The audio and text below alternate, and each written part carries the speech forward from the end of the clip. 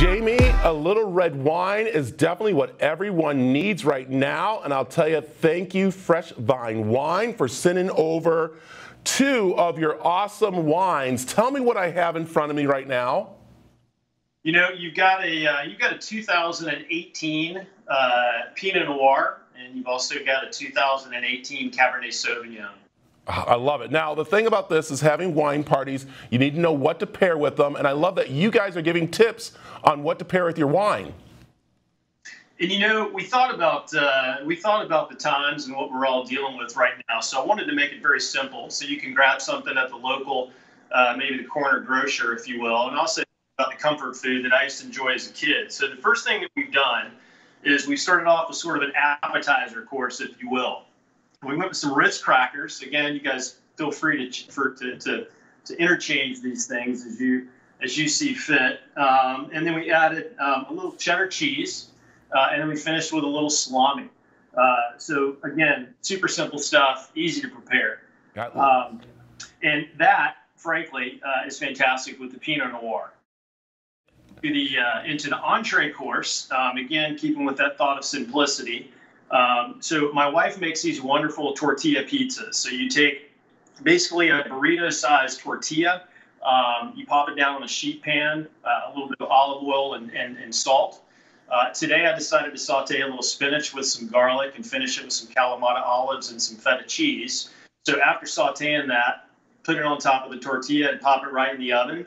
Uh, it's key that you've got it at 425 and it's been preheated to that temp. But once you get it in there, you're about 10 minutes away from pay dirt. And I like the olives on top of this because what it does is it gives you an opportunity to not only enjoy the Pinot Noir with it, but you can also be stoked with the Cabernet Sauvignon as well. Um, and then finally, for dessert, uh, again keeping with that thought of simplicity, I went with uh, I went with dark chocolate.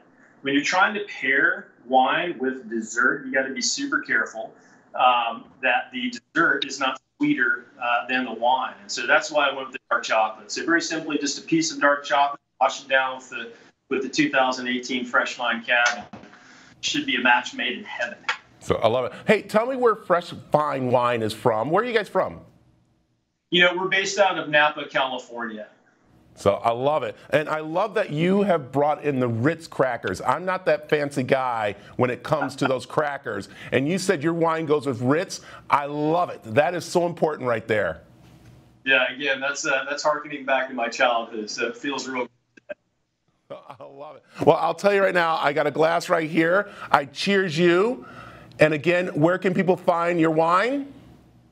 You know, right now you can find us online, freshvinewine.com. You can also follow us on Instagram and Facebook, but we can uh, we can ship it right to your doorstep these days. We're making it really easy, and uh, we've got a 50% off, I believe, on the yeah free. Sorry, free. I'm I'm I'm, I'm getting the I'm getting the free free shipping on three bottles or more. I love it. All right. Hey, Jamey, thank you very much. Cheers.